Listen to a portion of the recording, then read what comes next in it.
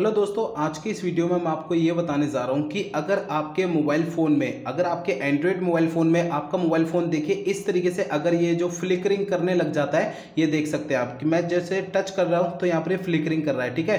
तो दोस्तों, इस तरीके की कभी भी अगर आपके एंड्रॉयड मोबाइल फ़ोन में प्रॉब्लम आती है तो इस तरीके की प्रॉब्लम को आप सॉल्व कैसे कर सकते हैं? आज के इस वीडियो में आपको पूरी जानकारी देने वाला हूँ तो चलिए यहाँ पे वीडियो को हम स्टार्ट कर लेते हैं। देखिए दोस्तों, इसके ना, कुछ सॉल्यूशन मैं आपको बताता हूँ। आपको सबसे पहले तो अपने मोबाइल फ़ोन को ना एक बार री स्टार्ट कर लेना है। अगर री स्टार्ट नहीं कर सकते तो आपको अपने मोबाइल फ़ोन को एक बार जो है स्विच ऑफ़ करके स्विच ऑन कर लेना है, ठीक है? और देखिए, दूसरा काम करना क्या है कि आपको अपने मोबाइल फ़ोन का जो सॉफ्टवेयर होता है, उसे अपडेट कर लेना है। मोबाइल फ़ोन का सेटिंग पेज ओपन करेंगे ना?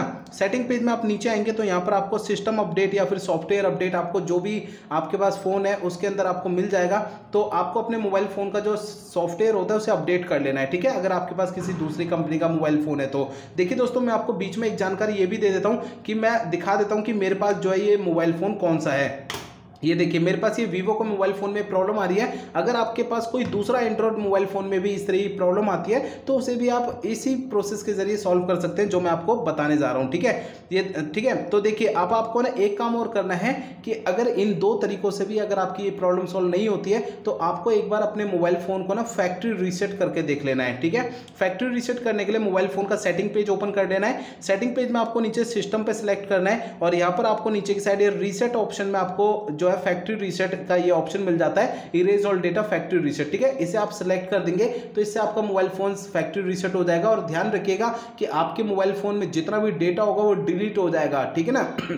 तो इस बात का आपको ध्यान रखना है फैक्ट्री रीसेट करने से पहले, ठीक है? तो दोस्तों, मेरे बताए हुए इन सभी तरीकों से आपकी है ना, ये इस तरीके की स्क्रीन जो फ्लिकरिंग करने लगती है, टिमटिमाने लगती है तो इस तरीके की प्रॉब्लम आपके फ़ोन में जो है सॉल्व हो जाएगी। अगर दोस्तों, ये मेरे बताए हुए इन सभी तरीकों से भी आपकी प्रॉब्लम इस तरीके की सॉल्व नहीं होती है तो आपको करना क्या है, अपने मोबाइल फ़ोन के है ना सर्विस सेंटर में आपको चले जाना है। जो भी आपका मोबाइल फ़ोन का सर्विस सेंटर है, वहाँ पर आपको चले जाना है, अपना फ़ोन वहाँ पर आपको दिखा देना है, जिससे कि आपकी प्रॉब्लम जो है वहाँ पर सॉल्व हो जाएगी। अब मैं देखिए, आपको जो अपने मोबाइल फ़ोन को एक बार जो है री स्टार्ट करके दिखा देता हूँ, ठीक है? और देखते हैं री स्टार्ट करने से हमारा फ़ोन जो है यहाँ पर ये प्रॉब्लम जो सॉल्व होता है कि नहीं होता है, ठीक है ना?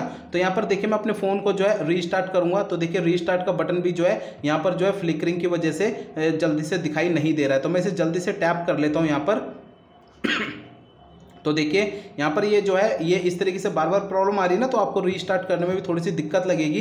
तो देखिए, मैं इसे जो है, दोबारा से इसे, यहाँ पर जो है, इसे करने की कोशिश करता हूँ रीस्टार्ट ठीक है? और देखते हैं, मैं आपको दिखाता हूँ कि रीस्टार्ट करने से ठीक होता है कि नहीं होता है। वैसे तो ठीक हो जाना चाहिए।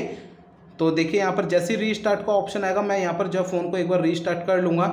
तो ये देखिए, मैंने बटन दबा दिया है और देखिए रीस्टार्ट हमारा फ़ोन जो होने लग गया है। अब यहाँ पर हम थोड़ा सा वेट करते हैं, देखते हैं कि हमारा फ़ोन यहाँ पे रीस्टार्ट होने के बाद ये इस तरीके की जो फ्लिकरिंग की प्रॉब्लम है स्क्रीन जो ठीक से काम नहीं कर रही है, ये ठीक होती है कि नहीं होती है प्रॉब्लम ठीक है? तो हमारा फ़ोन जो है ना, ये देखिए, दोबारा से ऑटोमेटिक स्विच ऑन होने लग गया है, ठीक है? हम यहाँ पे थोड़ा सा और वेट कर लेते हैं। देखिए दोस्तों, मेरा फ़ोन जो है ना री स्टार्ट होने में थोड़ा सा समय ले रहा है तो यहाँ पर आपको जो है ना, थोड़ा सा वेट करना है, मैं आपको आगे वीडियो कंटिन्यू करके दिखाता हूँ। तो देखिए दोस्तों, हमारा फ़ोन जो रीस्टार्ट हो चुका है, अब मैं अपने मोबाइल फ़ोन का जो है ना, यहाँ पर स्क्रीन लॉक एंटर कर देता हूँ, ठीक है ना?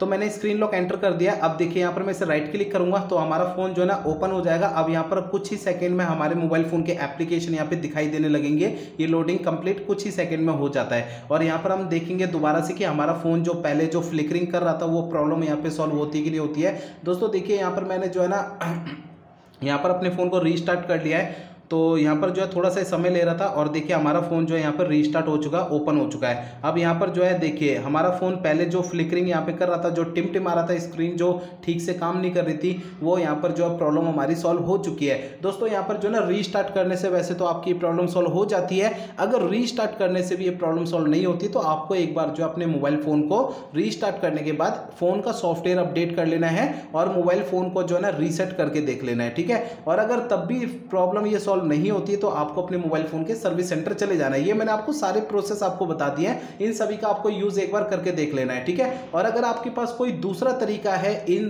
तरीकों के अलावा तो आप उस दूसरे तरीके के, उस दूसरे तरीके को भी यूज़ कर सकते हैं, जो भी आपके पास सॉल्यूशन है इसका, ठीक है ना?